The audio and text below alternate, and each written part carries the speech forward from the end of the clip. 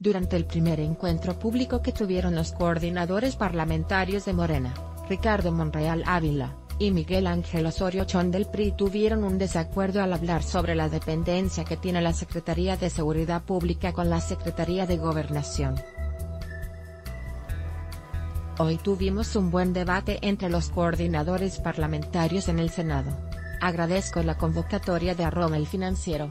MX a este sano ejercicio democrático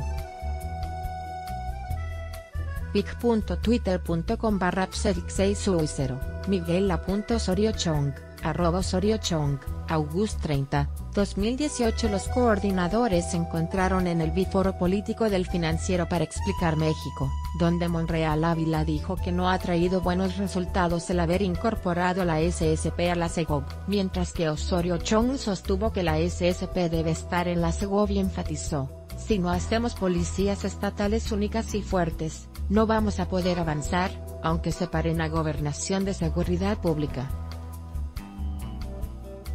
El exsecretario de Gobernación del presidente Enrique Peña Nieto aceptó la deficiencia para cubrir de seguridad a todo el país por la falta de capacidad de los 25.000 policías federales.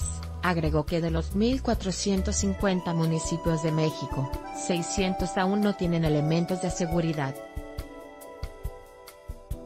Esta tarde durante la almohadilla foro político de arroba el financiero.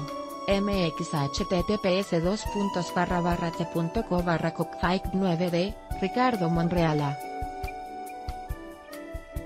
Arroba Ricardo Monreala, August 30, 2018 Por su parte, Monreal Ávila dijo que durante su recorrido por el país con el presidente electo pudo comprobar que el principal problema de México es la violencia. Ahora tenemos más territorios bajo el control del crimen organizado y de la delincuencia común. También estuvo presente Miguel Ángel Mancera, ex jefe de gobierno de la Ciudad de México, quien habló sobre la necesidad de profesionalizar a los cuerpos policiales y criticó las extorsiones en los penales. Hasta ahora no he escuchado un planteamiento que deba cambiar a fondo el problema de la inseguridad. El vicepresidente de la mesa directiva del Senado, Rafael Moreno Valle, concluyó que apoyarán la creación de una Secretaría de Seguridad Pública, pero que se debe fortalecer el tejido social e invertir en deporte para combatir las adicciones. Con información del Heraldo, Forbes y Animal Político Foto, especial Anímate a comentar. Queremos saber tu opinión. Comentarios Power Eva y Facebook Comments.